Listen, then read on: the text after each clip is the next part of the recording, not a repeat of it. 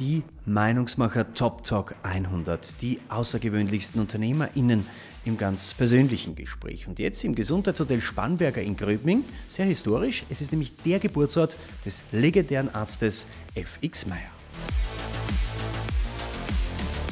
Schönen guten Tag, herzlich willkommen, Jürgen Peindl, mein Name. Ich zeige Ihnen die ganz besonderen Plätze der Steiermark und meine Damen und Herren, das ist genau so einer. Wir sind hier im wunderbaren Gröbming im Gesundheitshotel Spannberger und mir gegenüber sitzt die Theresa Haberl-Willroth. Begrüße, die Hausherrin.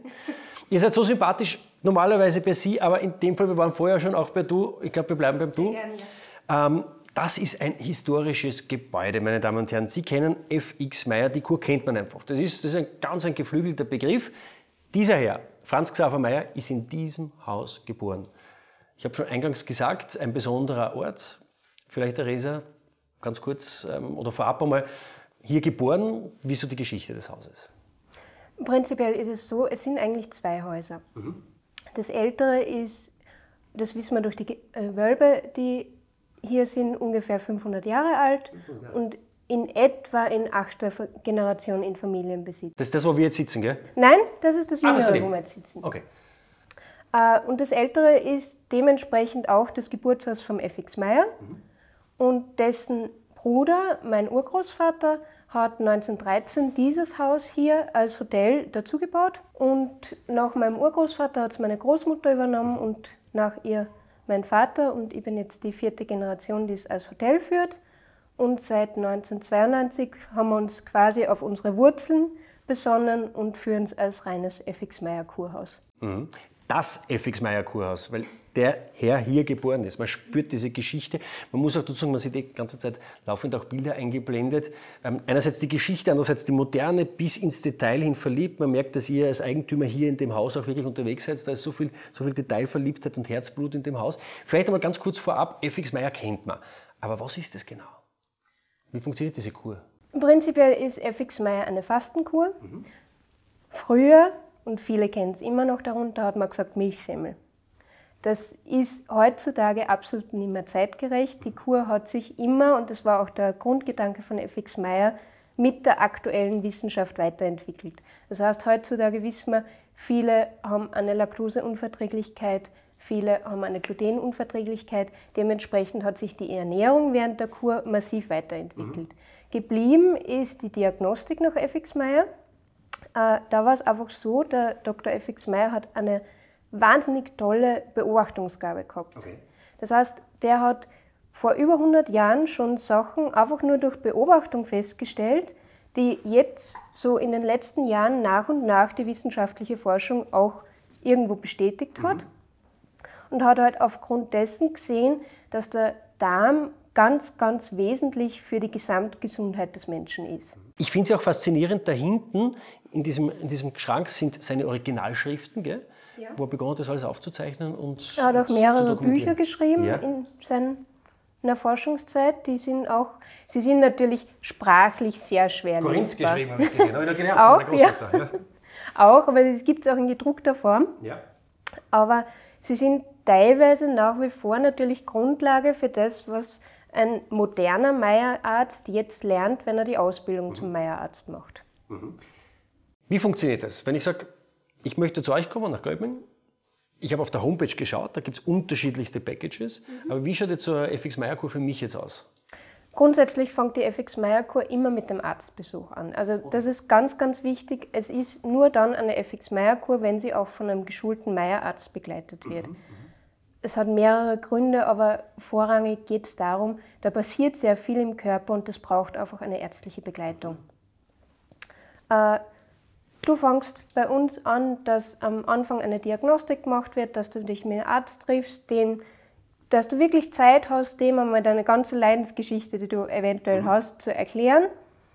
Der wendet dann diese Diagnostik nach FX Meyer an dir an, schaut sich deine Zungehaltung, tastet den Bauch ab und erstellt daraus quasi einen Kurplan. Also es wird die Ernährung in der Kur für jeden Patient individuell festgelegt.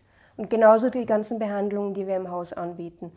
Was weiß ich zum Beispiel, wenn jetzt jemand sagt und sagt, ich habe so Rückenprobleme, ich bin so verspannt, mhm. der wird dann mehr Massagen machen oder eine Wirbelsäulenkorrektur. Mhm. ein anderer, der sagt, er ist energielos, er hat Schlafstörungen, er hat vielleicht Allergie. Da schaut man dann mehr zum Beispiel mit einer Höhenlufttherapie, wo man äh, verschiedene Höhen simuliert und die Mitochondrienproduktion anregt. Mhm. Die macht dann der eher. Oder es ist eine Kombination aus den verschiedenen Sachen. Also wirklich maßgeschneidert. Das ist genau. schon, äh, muss ich sagen, habe ich jetzt gerade gelernt, weil nicht das 0815-Paket, wo man vielleicht irgendwelche Sachen dabei hat, die es gar nicht passen, sondern es ist wirklich maßgeschneidert, mit Arztbesuch beginnt.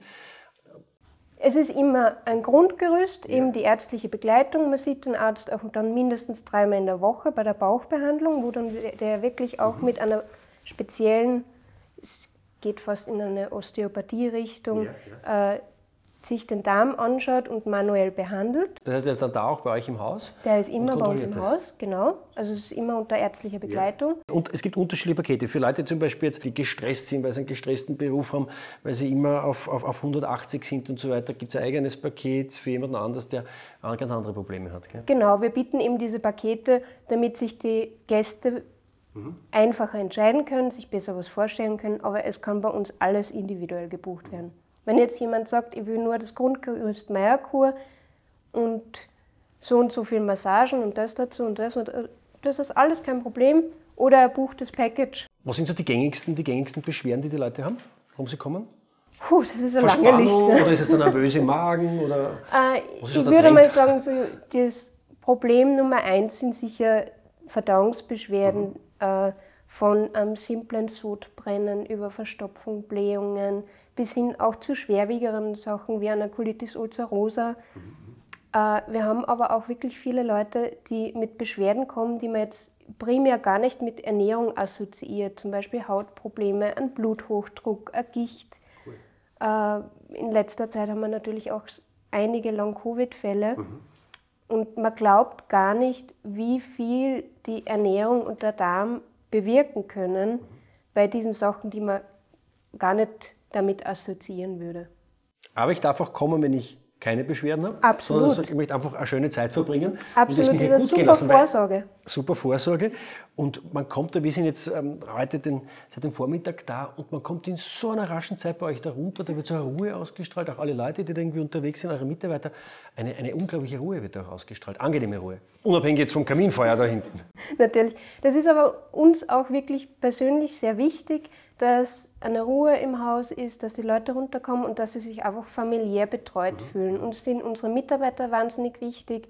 Wir haben ein Team, das wirklich befreundet ist und gerne da arbeitet. Wir arbeiten auch gerne mhm. in allen Bereichen mit. Und diese persönliche Betreuung vom Gast ist einfach so wichtig in unserer Zeit, weil wenn dann die Leute herkommen und sagen, ich habe jetzt eine halbe Stunde mit dem Arzt reden können, das kenne ich gar nicht aus der Kassenpraxis, dann ist das einfach eine Qualität, die man zum Gesundwerden mhm. vielleicht auch braucht. Gehen wir mal das Hotel ein bisschen durch. Da sind wir im Kaminzimmer sozusagen. In der Lobby, ja. Was, was, was sieht man sonst so alles jetzt im Erdgeschoss einmal im Haus? Einen ah. bezaubernden Garten draußen? Genau, wir sind zwar mitten im Ort, mhm. das heißt, das Haus ist einfach historisch so gelegen, dass es genau im Ortszentrum liegt. Dementsprechend können wir jetzt nicht mit einer großen Liegewiese dienen, aber wir haben einen kleinen entzückenden Garten zum draußen sitzen und man ist vom Haus direkt in fünf bis zehn Minuten in der kompletten Natur. Ja, du kannst auch vom Haus wegspazieren und bist schon genau. in drei Minuten bei der nächsten schönen, wunderbaren Blumenwiese. Also genau. wirklich vor der Türe. Und sonst befindet sich im Erdgeschoss der Speisebereich, mhm. die Küche und im ersten Stock teilt sich dann quasi, wie ich vorher gesagt habe, es sind ja zwei Häuser. Ja. Der Hotelbereich hier, wo wir jetzt sitzen, ist der Zimmerbereich mhm. mit den verschiedenen Stockwerken. Und auf die andere Seite rüber vom Stiegenhaus geht quasi der Therapiebereich, der im älteren Haus zu Hause ist, mit den verschiedenen Therapieräumen von Massage, Kosmetik, mhm. Körperwickel, Arztbehandlungsräume. Sportmöglichkeiten. Und Neubaubereich gibt es auch? Genau. Das ist quasi auf den alten Therapiebereich draufgesetzt. Das ist ein ausgebauter Dachboden oder neu aufgesetzter ja. Dachboden, wo wir noch zusätzliche Therapiebereiche geschaffen ja. haben. Einfach, weil wir gemerkt haben, die Nachfrage ist immer mehr da, die Leute wollen immer mehr Therapien mhm. machen. Dementsprechend haben wir auch bei den Therapeuten aufstocken müssen und auch bei den Räumen. extrem schön kombiniert, das alte mit dem neuen auch, beim neuen Ausbau. Und überhaupt, wenn man durchs Haus geht, da sind so viele Details, ob es jetzt die Bilder sind, ob es die einzelnen Sitzmöglichkeiten sind, ob es die Tapeten sind und so weiter. Das musst du und deine Mama, gell? Genau. Also primär meine Mama. Ja. Ich bin halt so nach und nach mit reingewachsen. Jetzt ist es schon so bei den Neubausachen, dass wir das sehr viel gemeinsam aussuchen und wir haben natürlich auch verschiedene Firmen, die uns da beraten und helfen. Wie schaut so ein typischer Behandlungstag oder, na, Behandlungstag ist der falsche Ausdruck, wie schaut so ein typischer Tag hier bei euch im Haus aus? Das beginnt einmal in der Früh mit der Morgengymnastik und mit der Einnahme von Bittersalz. Das ist ein leichtes Abführmittel zum Reinigen von dem Ganzen, dass auch was weitergeht. Ja? Mit Flüssigkeit, ohne Flüssigkeit? Mit Trinkt man das? Okay. Äh, das nimmt man einfach in der Früh. Ich frage nur deswegen so genau, weil es mich wirklich interessiert. weil ich überlege, wann ich dann schon kommen könnte. ja, sehr euch. gut. Also okay, Bittersalz einmal schlucken. Genau, dann macht man in der Früh so eine leichte Morgengymnastik, einfach um auch den Körper anzuregen, den Darm zu bewegen. Dann hat man Frühstück. Äh, was auffällig bei uns ist, sind die Essenszeiten sehr lange. Das heißt, man sitzt lange beim Frühstück, man sitzt lange beim Mittagessen, weil man die Aufgabe hat, jeden Bissen 30 bis 40 Mal zu kauen. Die Verdauung beginnt ja schon, lernt Genau, ja schon die Verdauung beginnt im Mund. Der Ja. Speichel hat Enzyme, die bereits das Essen zersetzen und wenn das in drei Bissen unten ist, kann der Speichel nichts mehr machen. Mhm, Ebenso der Magen hat natürlich eine größere Freude, wenn das Essen schön gekaut Mhm. ankommt, als wenn, die, wenn der so brocken. Du sagst gerade, man muss. selbst dabei ertappt, das vergisst man oft so im Alltag komplett. Gell? Man schlingt irgendwas runter, zwei, drei Genau. Bissen uh, und weg ist es. Und am Ende des Tages beginnen dann die Probleme, weil der Ja, Magen mal merkt beginnen man muss. dann so, dass das Sodbrennen kommt oder auch Sättigkeit, aufgebläht. Schwierigkeitsgefühl und so weiter. Man isst viel mehr, weil Mhm. man viel weniger schnell merkt, dass man eigentlich satt ist. Äh, und darum geht es sehr stark bei FX Meyer, dass man halt auch dieses Essverhalten lernt. Mhm. Es geht nicht nur ums Fasten, Fasten ist ein Teil davon, um den Darm zu schonen und zu regenerieren. Aber was die Leute bei uns halt sehr viel mitnehmen, sind Tipps und Tricks, wie man zu Hause das gut umsetzt, auch mit normalem Essen. Aber bei Essen, was gibt es? Wir sehen ja immer wieder, wir waren ja auch dabei in der Küche und so weiter, wo gekocht worden ist. Ähm, was gibt es da so? Was sind da die typischen Speisen des Hauses? Äh, ganz, ganz unterschiedlich, weil natürlich jeder mit anderen Unverträglichkeiten ins Haus kommt. Grundsätzlich gibt es das Kurgebäck, das ist der sogenannte Kautrainer, auf dem beruht, also der beruht auf der Semmel Ja. von Milch Okay. und Semmel. Das ist das ursprüngliche quasi von damals. genau, Ja? den gibt es in vielen verschiedenen Getreidesorten oder auch komplett getreidefrei. Mhm. Und der hat eigentlich nur die Funktion, dass er den Leuten das Kauen lernen soll. Und in der Zwischenzeit, wenn man nicht ausnahmsweise gerade mit Kauen beschäftigt ist, dann gibt es unterschiedliche Treatments, unterschiedliche Behandlungen wahrscheinlich. Genau, also es ist über den ganzen Tag verteilt, kann man verschiedene Behandlungen buchen. Man kriegt dafür einen Therapieplan bei uns, das heißt, man geht mit so einem kleinen Terminplan durchs ganze Haus. Und was halt auch ist, die Gäste haben bei uns sehr viel Zeit, die sie für sich nutzen, die sie nutzen, um zu schlafen, zu lesen, spazieren zu gehen. Äh, es kommen auch viele alleine Ja. und gerade dieses alleine sich Zeit nehmen, das schätzen sehr viele.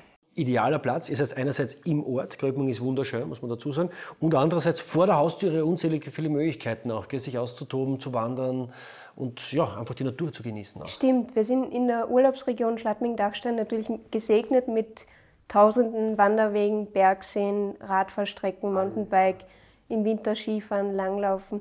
Wobei wir den Gästen schon sagen, sie sollen sich auch ein bisschen zurücknehmen. Ja. Also ich würde jetzt keine Meierkur mit einem kompletten Skiurlaub verbinden, weil das einfach zu viel ist für den Körper. Ja. Man soll sich schon die Zeit zum Ausrasten geben. Was ist so das, wenn man jetzt, wobei das war es glaube ich eigentlich schon, oder? Dass die Leute mitnehmen sollen, wenn sie ans Gesundheitshotel Spanberger denken. Oder was ist das, wo du sagst, das, ist, das muss da drinnen hängen bleiben, weil das dir so wichtig ist für die nächsten Jahre, für die Zukunft? Eigentlich eh genau das, dass wir ein kleines familiengeführtes Hotel sind, wo es wirklich um die persönliche Betreuung geht und dass hier die Gesundheit des Menschen im Fokus steht. Und bei euch trifft dieses, dieser, dieser, dieser, dieses Sprichwort klein, aber sehr fein wirklich, wirklich zu 100 Prozent zu. Man kommt da rein, man fühlt sich wohl.